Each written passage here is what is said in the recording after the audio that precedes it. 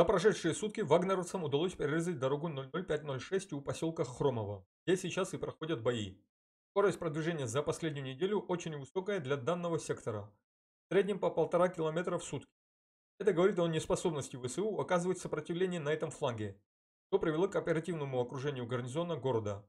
Кроме атак на Хромово, вагнеровцы пытались пробиться к селу Богдановка. Наступление там оказалось безуспешным, и на данном этапе битвы за Бахмут не является приоритетным, так как вагнеровцам достаточно обустроить оборону у Берховского водохранилища, чтобы обезопасить себя от контратак с севера, и затем продолжать наступление далее дороги 00506 в направлении села Ивановское, сближение с которым обеспечит все более плотное окружение. В вчерашнем выпуске, ссылку на который вы можете найти в описании, подробно рассмотрена ситуация на флангах Бахмута. Перейдем к Сватовскому направлению.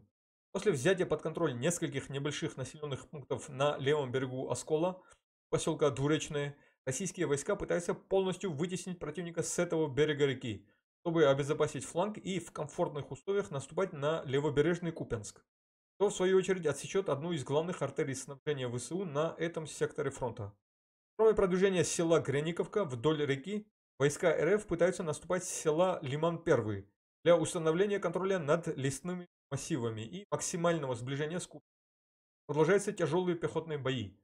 Параллельно идет наступление на село Синьковка с востока. Очевиден замысел командования РФ. Купянц и его коммуникации как главная цель. На другом фланге этого сектора, в Каменских лесах по обе стороны реки продолжаются очень тяжелые пехотные бои, без преимущества какой-либо стороны. ВСУ удалось стабилизировать фронт после отката от Кременной и села Деброва.